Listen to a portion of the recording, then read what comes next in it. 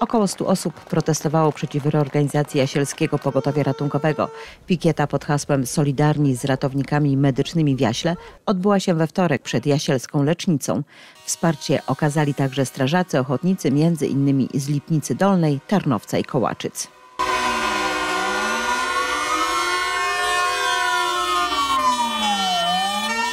solidaryzujemy się, pracujemy też w służbie zdrowia.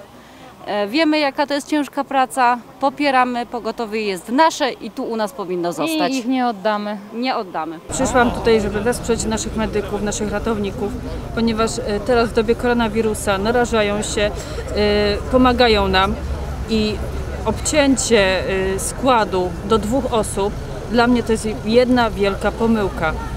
Nie wolno im robić krzywdy, oni nam pomagają. Zgodnie z zapisami ustawy o Państwowym Ratownictwie Medycznym od marca na terenie województwa podkarpackiego będzie funkcjonował jeden region operacyjny z jedną dyspozytornią medyczną. Powstanie konsorcjum, w skład którego wejdą Wojewódzka Stacja Pogotowia Ratunkowego w Rzeszowie oraz placówki w Krośnie, Mielcu, Przemyślu i powiecie bieszczadzkim. Działalność jasielskiej stacji ma przejąć jednostka z Krosna. W nowych strukturach zatrudnienie ma znaleźć od 45 do 50 osób. Obecnie w Jasielskim Pogotowiu Ratunkowym zatrudnionych jest ponad 60 ratowników.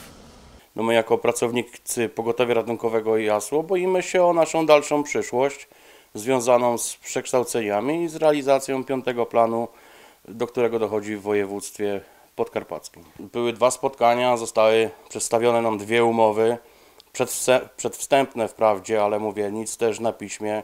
W każdej jednej odwołanie jest do, do swojego regulaminu, którego też żeśmy nie widzieli. Nie wiemy, co tam jest w regulaminie zawartym krośnieńskim. To, że tam pan dyrektor w drugiej umowie pisał, pisze, że, że dostaniemy e, umowę na czas nieokreślony, ale wiadomo, podpisując jemu tą umowę, z automatu wypowiadamy umowę naszemu szpitalowi, gdzie jesteśmy zatrudnieni.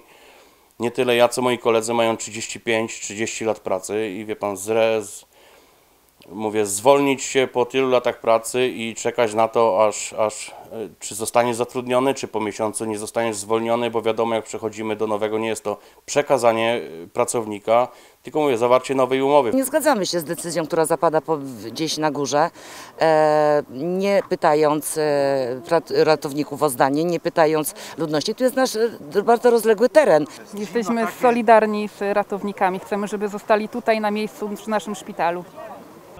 Sprawy nie chciał komentować dyrektor Pogotowia Ratunkowego w Krośnie.